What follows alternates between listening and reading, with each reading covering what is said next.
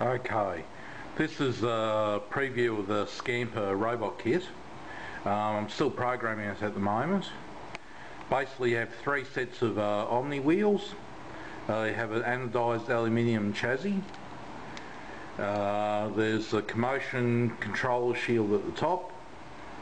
You have uh, a 6 AA battery pack in here, although you can put in a lithium ion battery pack if you want and underneath we have these uh, three mo geared motors.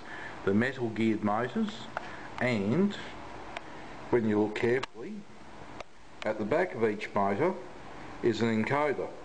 Uh, there's an 8 pole magnet there and um, a Hall effect sensor.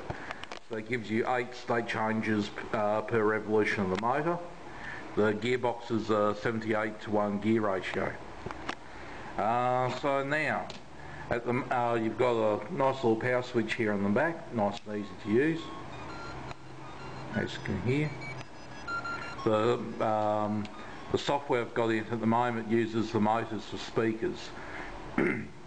Apart from play, playing nice little tune, uh, the uh, motors can also vibrate to let you know what mode it's in or whatever.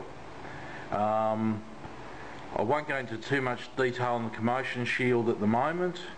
Um, basically at the moment I'm programming it using um, a SparkFun Redboard here which is just a, a standard Arduino controller and for testing I have uh, just an infrared receiver there.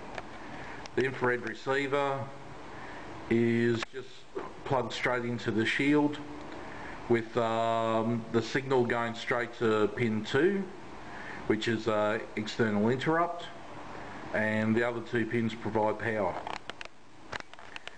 Uh, let's see, let's see what else we got here.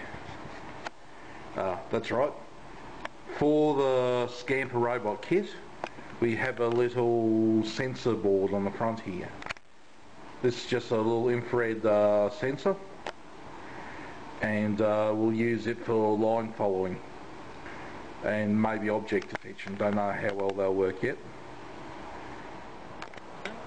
Okay, I've just set it up on the floor here. You can see there's a, a track that I'm using just for testing the um, Scamper code software. But for the moment, I'm just using remote control. Uh, with the velocity and angle, Okay, this can be hard to keep up with. Basically, the if you think of the sensor, hang on, think of the sensor at the front there as looking forwards. Then using these buttons to control angle, I'll select like sideways, then velocity, and the robot travels sideways. Um, I can change the angle back and comes back the other way. Uh, forwards, sideways, just speed it up a bit, uh, backwards, sideways. So this is just uh, without turning, without rotating, is travelling at uh, any angle I want. I can also rotate it.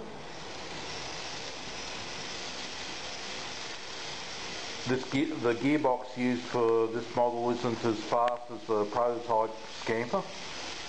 Makes it a little bit easier to control because you can then use very slow speed for precise um, positioning of the robot.